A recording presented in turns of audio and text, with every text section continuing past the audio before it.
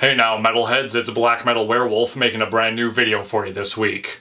And today, what I would like to talk about are metalhead vocabulary terms.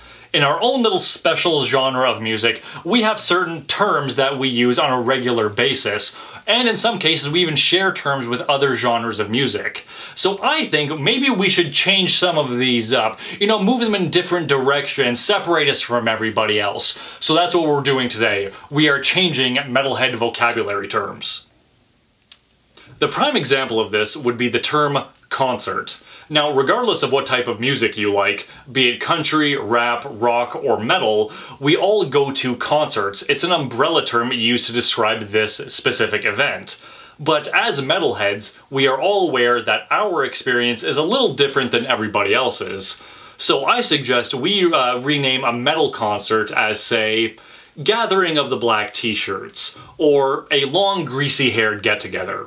And what about festivals? Once again, the word festival encompasses all types of music festivals, but metal festivals are different than everybody else's. So I suggest we change it to a denim vest convention. Now on that same note, what about the term mosh pit? In theory, a mosh pit can break out at any type of concert or festival there is.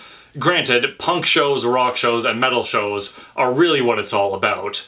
But for metalheads, it really is a special experience for us. It's not just about slamming into people, it's about bonding with your fellow metalhead. So I suggest we rename it to Man on Man Cuddle Time.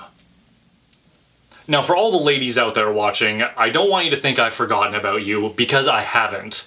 And I am well aware that your experience listening to heavy metal is much different than me, a man, listening to heavy metal. And with that being said, I have come up with a very good term for your experience. Like, say, listening to Type O Negative. I suggest we change that to cheap therapy for women with daddy issues. Now, before anyone gets all up in arms and calls me a sexist for that last comment, I should say that there is a near identical criticism and joke that can be made about male metalheads, and the band associated with that is Amon Amarth. So that's why I suggest we change the term listening to Amon Amarth to a metalhead personality starter kit. And I am not joking because I am one of those people. I legitimately have a Mjolnir tattoo appointment for the end of the month. Now, I would be a fool to overlook the concept of battle vests. Now, I'm well aware that the idea of a battle vest is already essentially uniquely metal, even though punk does have their own vest, but it's not a battle vest, it's their own little thing. But for metalheads, we all love making them. They look cool, it takes a lot of time and effort to put them together. We love showing them off. You guys know I do, and I know plenty of you guys do too. But with that being said, Battle vests are incredibly expensive and time consuming, so that's why I suggest we change the term making a battle vest to a different type of needle addiction. Now, what about mainstream popular metal bands that transcend the world of heavy metal? I think the perfect example of that would be Metallica. There are so many people who like Metallica, and many of them wouldn't really consider themselves metalheads. I remember when I was younger, those Guitar Hero games started coming out, and Metallica blew up for a whole new generation. A lot of those people grew up to start really liking heavy metal, but a lot of them didn't. They just really liked the song Enter Sandman. But for metalheads, their gateway to heavy metal was Metallica. The problem is, a lot of them realized that the first handful of Metallica albums were really, really good, and then it just went downhill from there. So with that being said, I think we should acknowledge that when someone starts listening to Metallica and gets into heavy metal because of it, it really is just a gateway drug to Slayer. We all know the works of J.R.R. Tolkien has been inspiring creators for generations, be them writers, movie makers, video game developers, and of course, metal musicians. But let's call a spade a spade here, because once metalheads get into the works of Tolkien, it really just becomes a black metal name generator.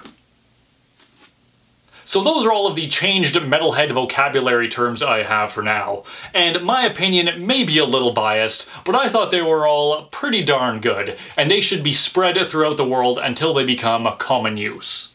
And with that being said, I want to get your guys' opinion on all of this. Are there any other metalhead vocabulary terms that you think should be changed or tweaked? If so, leave them down in the comments. I know I would love to read them, and I'm sure plenty of other metalheads would like to read them as well.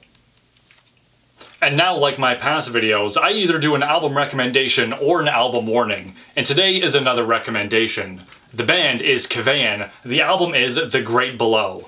Now, I got this album quite some time ago from the Metalhead box, I want to say well over a year ago, and ever since I got it, I've been listening to it on a near regular basis. And the reason is, this album is a total masterpiece. There is literally not a bad song on this entire album. I am so glad I found out about these guys because their music is amazing. Uh, the easiest way to describe their music is just to say it's black metal, but when you sit down and listen to it, it's it's more than that, and I, I can't really describe it. You just have to listen to it for yourself and make up your own mind. Um, I usually say what my favorite tracks are, but I, I cannot pick my favorite track because every single one of them is amazing. So I grab this album, uh, Spotify, YouTube, wherever you listen to it, Kvaen, The Great Below, check it out, you will not regret it. So that's it for today's video. If you like what you saw, don't forget to like and subscribe, leave me a comment letting me know what you thought of today's video, checking out some of my past videos, and sharing them with a few of your friends while you're at it. If you'd like to keep up with me on a more daily basis, you can follow me on Facebook and on Instagram. I also have patches for sale, so if you would like to get your very own, you can click right over here. There's also a link down in the description.